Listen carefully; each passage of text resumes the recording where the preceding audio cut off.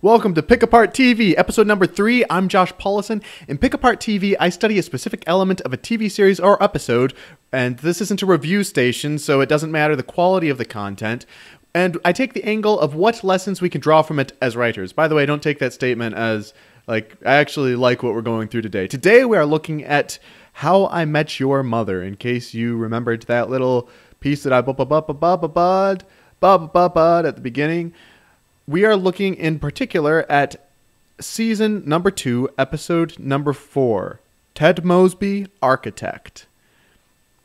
This is something that I see in general with the How I Met Your Mother series, which I actually like quite a bit. And that is, we are going to focus on the change in the character Robin at the end of the episode. When it comes to character changes and developments and trying to resolve conflicts, as writers, we can think of just the external. What should they do? But in general, the real problem isn't what should they do, because if you just change yourself in one area where there's a conflict, in general, that conflict is going to come up in other places. The real issue is what is the mindset here? What is the idea? What is the concept? And How I Met Your Mother, I would say, does a very good job of asking the question not, oh, well, what should I do? But in a lot of cases, it can touch on more so what's the actual mindset. Yes, there is just discussion about, well, you know what, you should listen to him. But it also goes into, well, these are just the feelings that come along in relationships. These are just pieces of emotions, and that's not a bad thing. And then Robin at the end has to confront herself a bit with, okay, well, I don't like relationships because I don't like these feelings. I don't like dealing with this. I want to close myself off to these things. I avoid relationships because of these.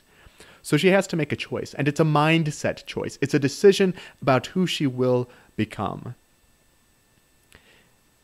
And that's really how characters change. They don't change by just saying, you know what, I'm going to try harder. Can you change by just trying harder? Maybe a little bit, but not to the extent of a real heart change.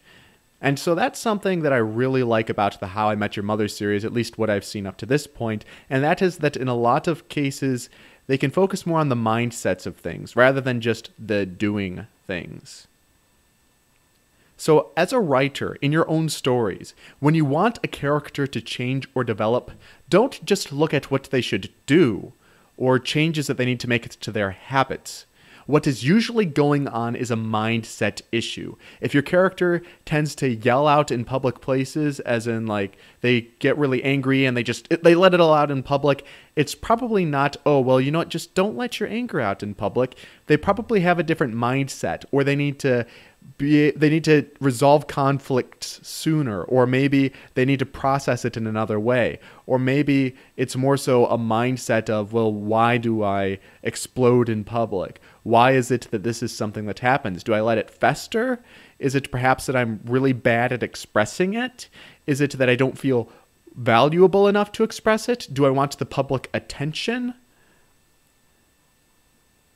so, when you want characters to become who they need to be for the climax, for example, maybe your character needs to make a really difficult choice, don't just look at what should they do, but look at who do they need to become. And the character may choose to become that person. They might be aware, conscious of the decision and the potential change, or maybe they will turn down that opportunity, that knowledge. They won't pursue it and really look at changing. Thanks so much for listening to Pick Apart TV. This has been episode number three. Tomorrow we will come back with another episode, or I will. I'm a one. I, I do this on my own. so if you want to get in contact with me, you can at Josh Powlison on Twitter, or you can check out my website, joshpowlison.com, for tons of free resources on story creation and development. Thank you. Have a fantastic day and enjoy the show.